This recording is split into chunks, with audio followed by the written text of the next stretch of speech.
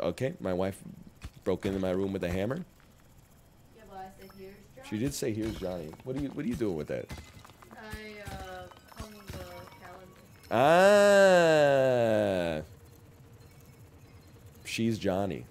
You played this game with one hand? What are you supposed to do with your other hand? There's, there's a right answer and a wrong answer. Hey, hey, there we go. Oh my god, it's a psychotic mining. What do you mean? Is I, I mine where the minerals are. Why why do you mine with the vertical? You think I should mine more horizontal? Yes. I've heard that before.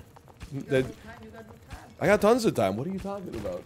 Oh, that's the blue bee. That's the blue bee.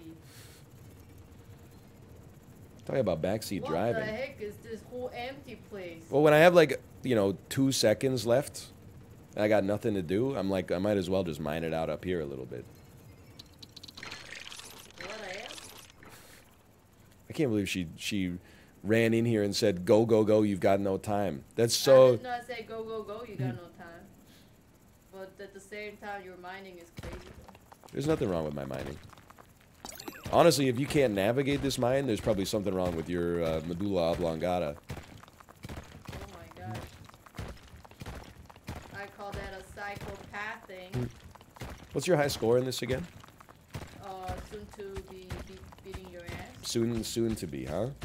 It's just I didn't have time to play it, but I have a great run coming. Right now I'm at like uh, 750. Excuse me, I have a hammer. I know. That's why I'm so scared. You're just coming in my room with a hammer. You better be careful. It's not copium, Chad. It's just truth. I just, I, it, it's very interesting. There could be a compilation of times I've walked into your stream versus times you've walked into my stream. Yeah. Almost every single time I walk into your stream, love you. Do you need anything for lunch? Have a good day, honey. Every time you walk into my s- stream, uh, he's bald. Lol, baldy. I didn't know how to say that. It's happened in the past. Maybe I shouldn't be bald. That's it. I knew that was coming. Maybe I shouldn't be bald. Des got it. Uh, she's she's avoiding the temptation right now. I'll tell you. I have three small plates and a, and a teacup, um, and uh, I do have some mandarin orange peels as well. I'm not gonna deny that I got some mandarin orange peels. You, you just self-exploded. I That didn't do that anything. that time I I did it to myself. I didn't. I That's didn't true. say anything at all. She's got me on that one. That time I did it to myself.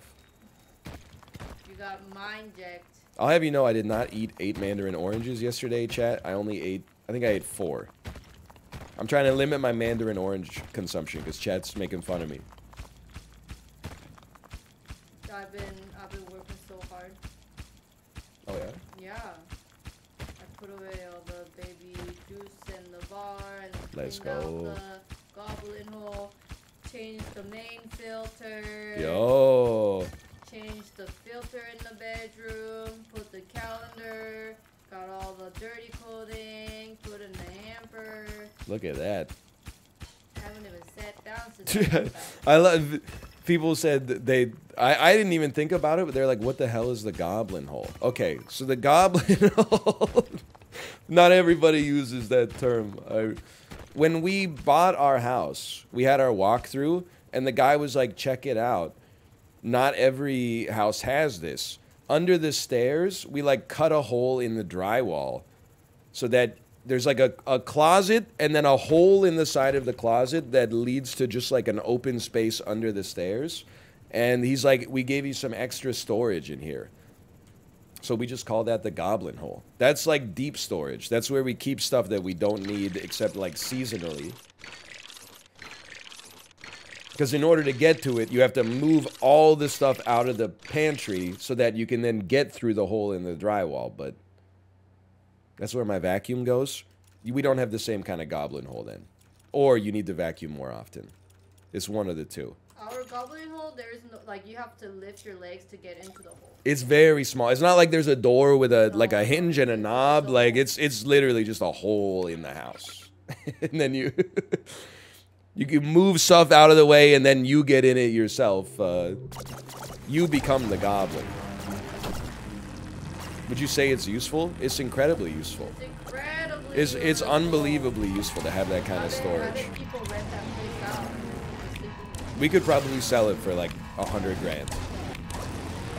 I bet we could be like, hey, we got like a little storage. I'll charge you. Uh, I bet we could charge like a parking space price. We could charge like seventy-five bucks a month for it.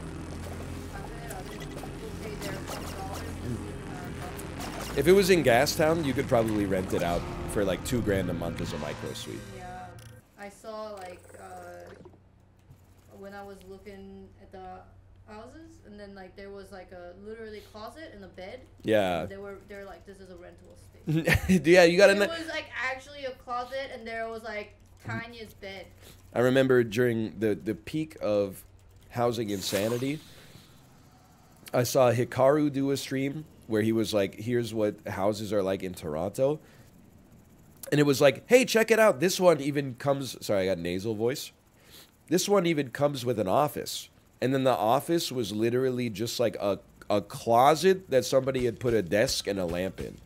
And I was like, you know what? That's like actually what it's like. I bet it's Toronto, so it's, they got more space. I don't know. Toronto's.